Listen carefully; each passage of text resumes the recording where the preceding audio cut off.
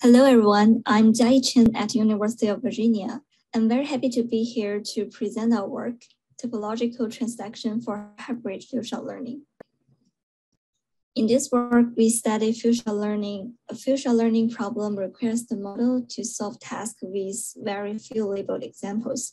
The key challenge is that in the data scarcity scenario of few-shot learning, the deep neural network which is required for solving tasks will suffer from model overfitting or collapse due to few labeled examples provided for training. More recent works show few-shot learning in meta-learning paradigm, treating each few-shot task as an instance sample from a task distribution. The key idea of meta-learning is to generalize some common knowledge about this task distribution from meta-training few-shot tasks and utilize the knowledge to help accurately and rapidly solve new tasks in the future. And typically, the training data within each task is called support data, and the testing data in each task is called query data. Beginning from here, the motivation of our work is the application of few-shot learning in web domain, where we aim to quickly learn new web concepts without sufficient supervision. A feature of web content is heterogeneous information, as web concepts delivered to users are in different forms, like video, images, text, audios, and so on. And usually web data may be frequently unavailable, so web instances may be represent, represented by different combinations of modalities. So a problem of using existing meta-learning approaches in web domain is that they assume a well-defined uniform feature setting where all the tasks have identical feature space. This will limit their applicability in the heterogeneous web content, where data is more complex, multimodal, and non-identically distributed. We formally define such few-shot learning setting as hybrid few-shot learning. In this problem setting, each data sample is unimodal or multimodal web concept, which is naturally heterogeneous and uh, difficult to collect a complete set of modalities.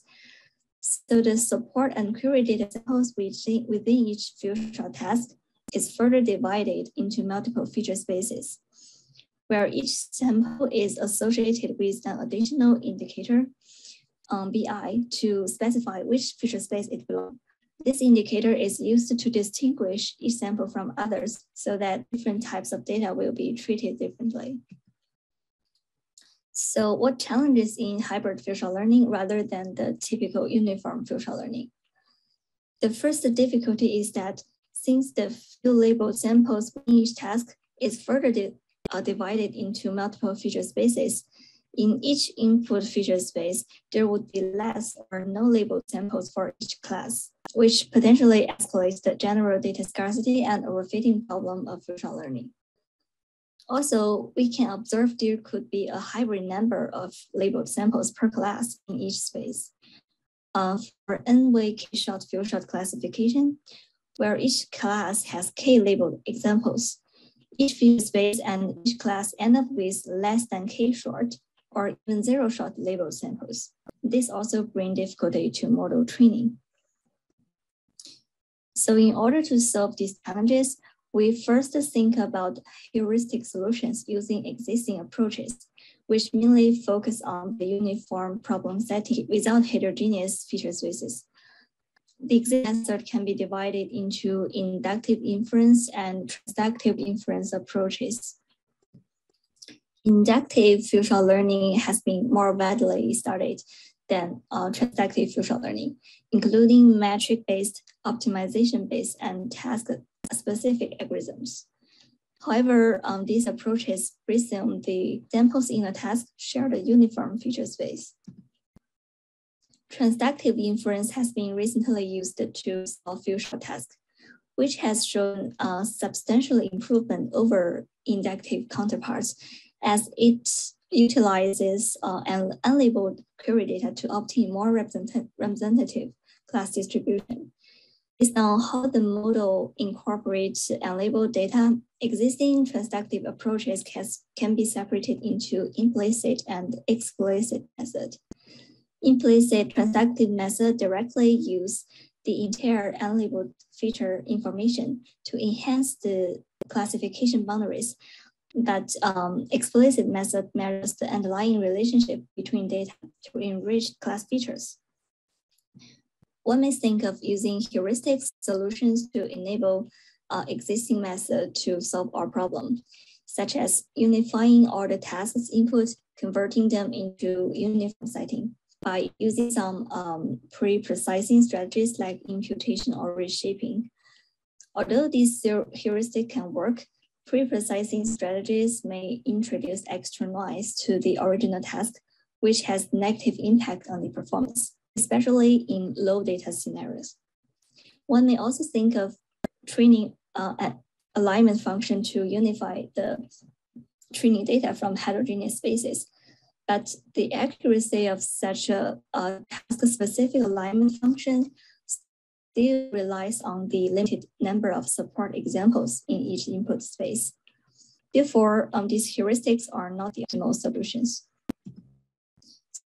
In this work, we consider how to solve the two challenges by directly learning from um, the original task consisting of heterogeneous feature spaces. First, we find that inductive inference-based meta-learning is not able to alleviate the two challenges because it is impossible to fit a single shared model for the data from different types of input space because naturally different types of input cannot share the same network architecture. What is more important is that um, there may be the case that the feature space of an n-labeled query samples do not even have any annotations in the support set. So alternatively, if we train a um, transductive meta-learner which can incorporate unlabeled samples during task adaptation, we are able to jointly learn from heterogeneous content in both support and query set of tasks so that the model can capture extra information about the relationship between heterogeneous spaces. So in this work, we use transductive inference-based meta-learning. Um, the purpose of transductive meta-learner is to adapt model parameters to the given task's underlying geometric structure, which is unclear.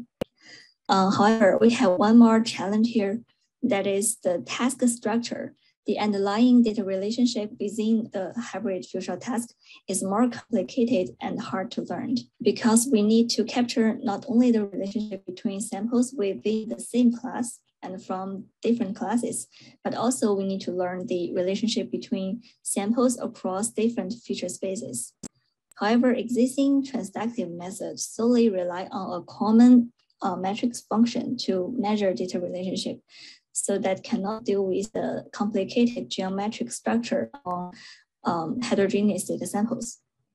So in order to solve these problems, we propose a topological transductive meta-learner.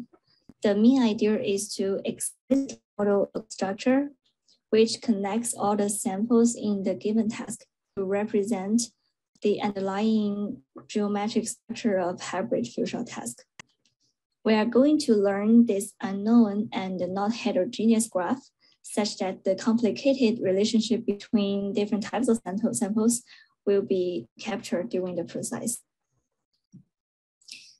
This figure shows an overview of our network. It consists of three modules. First, a structured learning model is used to capture inter and inter-class relationship between data points that share the same type of feature. And second, we have a heterogeneous graph neural network to capture the relationship between different feature space. And finally, we use a multilayer perceptron as the classifier.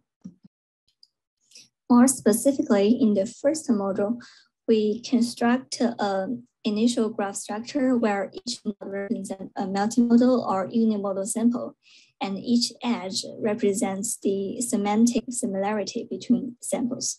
The input is all the samples in the support and query set. The output is a heterogeneous graph consisting of node features and edge features. We first use a multi-channel feature embedding network to extract the feature from each modality. Here, we do not fill the missing modalities by zero, so the missing modalities are kept blank. Uh, and given the embedded feature set of each modality, the node features, hi, are the concatenation of modality embeddings and are heterogeneous because each sample have different types or different combinations of modalities. Um, the edge feature is complicated as the similarity between a pair of heterogeneous nodes is unclear. We can only learn data similarities in each modality. Therefore, we let the initial edges contain multiple views of similarity measurement. Each view is calculated from a modality. Such multi-view connections can be represented by a tensor. So after this graph, uh, this structured learning process, we end up with a multi-relation graph where uh, which connects different types of nodes. Um, after initializing the graph, we perform transductive inference using a graph network. The input is a, a heterogeneous graph with complicated connections. The output should be a simple homogeneous graph. The key idea is that use, during this message passing through edges, we can automatically achieve multi alignment and uh, leverage underlying geometric structure of the task. More specifically, uh, node and edge features are alternatively updated because they rely on each other's current information to obtain a better representation. The node features are updated through neighborhood aggregation, which take into account the edge feature information. Uh, in order to aggregate semantic level information from heterogeneous node, at the first GNN layer, we use different node encoders for the non-different spaces. And the update of edge features, which represent data relationship, relies on current node semantics. This process can be viewed as attention mechanism as the uh, updating scores of neighboring nodes are calculated using attention function. So, and in order to reduce the parameter size as the, at the first GNN layer, we sum up each view to, comp to compress the dimension of the edge feature. In practice, we stack two GNN layers to perform space alignment. The alternative updating procedure is supervised by these support labels so that the learned structure will get more relevant to the true class distribution layer by layer. This slide shows the training of the entire model. The training algorithm is similar to optimization-based uh, meta-learning. The green arrows are backpropagation for inner loop task adaptation, which is supervised by each task support labels. And the pink arrows are backpropagation for updating the meta-knowledge, which is um, supervised by the query labels over a batch of tasks. As for experiment, since we define a new problem setting for heterogeneous web content, we have simulated two hybrid few-shot classification dataset using two existing multimodal dataset. The first dataset is for bird species classification and has two modalities, image and text. In the simulated hybrid task, each sample is either an image or a text or the combination of image and text. The second dataset is for 3D model classification and also has two modalities, which are two views of shape representations for um, of each 3D model. Again, in this simulated hybrid task, a sample can be represented by view one or view two or combined two views. In all the experiments, which sample belongs to which feature space were randomly assigned. Uh, and we use a hyperparameter to control how many samples in the test have missing modalities. Here we report the results of our proposed method compared with three families of previous method, including inductive inference, transductive inference, as well as recent multimodal few-shot learning methods. Um, all these baseline methods were designed for uniform few-shot learning and cannot naturally fit for the defined uh, hybrid task. So for fair comparisons, we use zero values to fill the missing modalities on the input set and um, remain their model not changed. In contrast, our proposed method directly learned with the original heterogeneous data. This table shows the classification accuracy result on the query set of meta-testing tasks. uh, where the number of um, gradient update during fine-tuning is fixed to 10 steps, and in each task, a half of samples have missing modalities. From the result, we can observe that our method outperform baselines when the task has more than one type of samples due to missing, missing modalities. The reason might be that the, the zero imputation bring, brings some extra noise to the baselines. In contrast, our model, which directly learn from present data from multiple feature spaces can avoid such noise.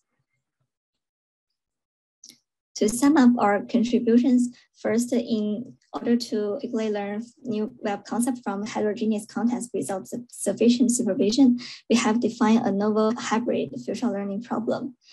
Second, we have addressed the three challenges of hybrid few-shot learning rather than the typical uniform counterparts. And in order to overcome these challenges, we proposed a topological transductive method learner, which explicitly model a heterogeneous graph structure to jointly consider the information of all the samples in the given task.